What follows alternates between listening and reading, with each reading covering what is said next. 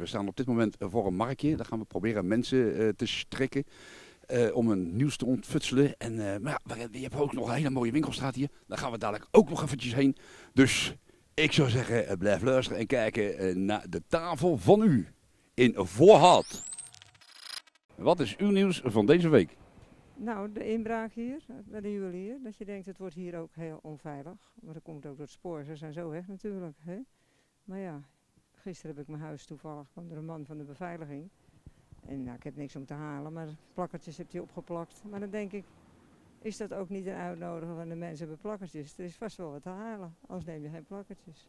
Ja, toch wel, maar ik heb zelfs ook die plakkertjes eh, op mijn huis. Maar is het hier, gebeurt het hier veel of is dit nou een excess? De laatste tijd eh, in de omgeving is er nog wel eens iets. eh, ja, vroeger, to- toen ik hier kwam, kon je de achterdeur open laten staan. Tien jaar geleden. Ja, maar dat is overal zo, hè? Ja, daarom. Maar ja, vooruit. Verder wonen we hier heerlijk. We zijn hier naartoe gekomen voor onze twee dochters, maar die zijn inmiddels verhuisd. Dus u zit hier alleen met uw man? Ja, maar leuke mensen omheen, dus klaar. Toch? Nou, jullie zien er in ieder geval heel erg gelukkig uit. Oh, dankjewel. Ja. Wat zei u? Ik zeg, het is de moeite waard om hier te wonen. Nou, het is wel een... eh, het Maar het breidt ook heel erg. want Ja, grond is duur. Dus ja, die bollenboeren verkopen allemaal de grond en het worden huizen. nou, we hopen maar dat het eh, voortaan mee gaat vallen. En dat de beveiliging eh, niet nodig is. Nee, zo is het. Ik moet nog een hond op mijn raam plakken, maar ik heb een Shih Tzu, dus dat is wel een grote waakhond, toch? Als u hem laat blaffen, dan eh, lukt het zeer zeker. Hij blaft niet. Oké, bedankt hè.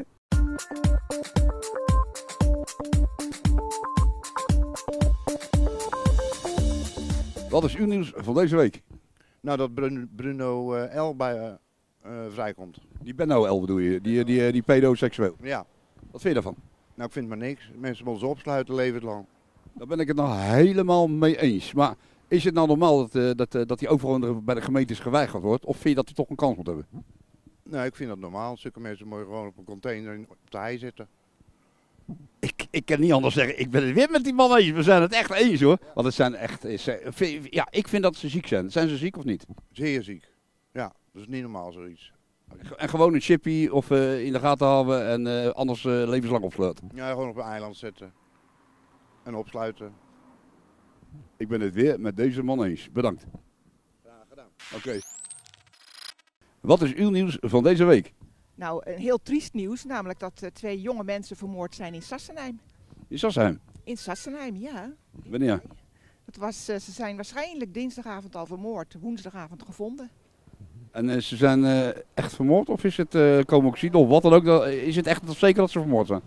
Het is zeker dat ze vermoord zijn, maar hoe en wat de omstandigheden waren, daar wordt nog niets over verteld. Het enige wat gezegd is, dat is dat mevrouw hoogzwanger was.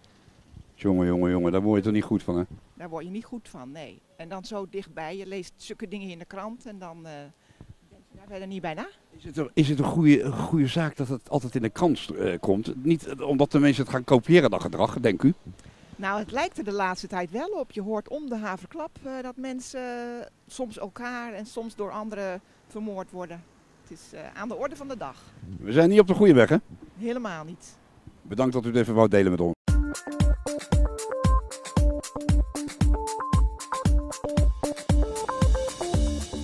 Wat heeft u eh, meegemaakt eh, of eh, wilt u vertellen van deze week? Nou, over mijn bijzondere vakantie in Australië.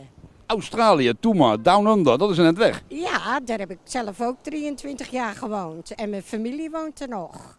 Drie- Ik, ik vind het een heel mooi land hè. Ja, Maar één ding, ik ben verschrikkelijk bang voor spinnen. En die zijn daar groot? ja, ja, ja je hebt grote spinnen.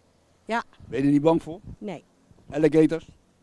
in dat gebied ben ik nog geweest. Ik kom uit een civilized eh, stuk van Australië. Het geciviliseerd stuk uit Australië. En waar is dat? Ik, ik kwam uit Victoria. Victoria. En eh, Vader woont er nog. Daar ben ik ook op bezoek geweest. Die is eh, 96. bijna u bent daar geboren? Ik ben in Hillegom geboren. Acht jaar gewoond. Toen zijn we met het hele gezin naar Australië gegaan. En wanneer teruggekomen? In eh 78, toen wou mijn man terug. Dus toen zijn we met ons hele gezinnetje teruggekomen. Is dat moeilijk om dan de hele bende achter te laten? Het is heel moeilijk. Ook de kinderen hadden veel moeite met de taal en de school. En ik geloof als ik het achteraf geweten had hoe moeilijk het was, had ik het nooit gedaan. Ja, Want je laat ook je familie eigenlijk achter, je, je, je kennissen, je vrienden en de hele bende. Ja, ja. En vooral als er narigheid is, dan, eh, dan voel je dat heel erg. Want dan sta je toch alleen. Maar eh, ik heb het wel heel erg naar mijn zin hier. Ik vind Holland een fijn land. En waar ik woon heb ik het ook ontzaglijk naar mijn zin. Oké, nou wou ik nog één dingetje.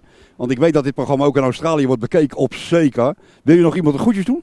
Oh ja, alle mensen, alle kennissen van mijn vader in Australië, de groetjes. En ook mijn kindertjes hier. Mijn drie dochters en mijn vier kleinkinderen. Ik vind je lief, ik heb van mij drie zoenen. En oké, en ik word nog achteroma ook. Ach, ik krijg een achterkleinkind. Gefeliciteerd oma. Ja, en dit is even een speciaal eh, de tafel van u eh, momentje.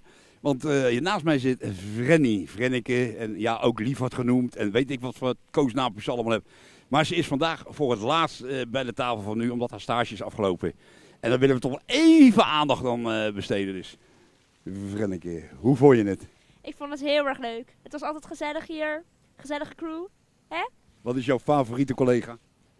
Ehm, ja, laat ik maar Henk zeggen, hè. Ah, ik zie hele boze mensen nu kijken. En eh, ja, eh, ik ga toch proberen aan onze eh, manager vragen of jij eh, ja, vrijdagsmorgens bij- erbij mag blijven, toch? Oké, is goed. Wat ga je nou doen? Eh, ja, eerst even vakantie vieren. Even rustig aan. Even lekker niks aan mijn hoofd. En dan eh, daarna werken, denk ik. Wat voor werk? Dat weet ik nog niet. Ik ga nog even zoeken. Maar eerst even rustig eh, lekker van de zon genieten. Nou, als je in ieder geval vrijwilligerswerk wil blijven doen, de tafel van u is ook voor jou. Dankjewel. Dus.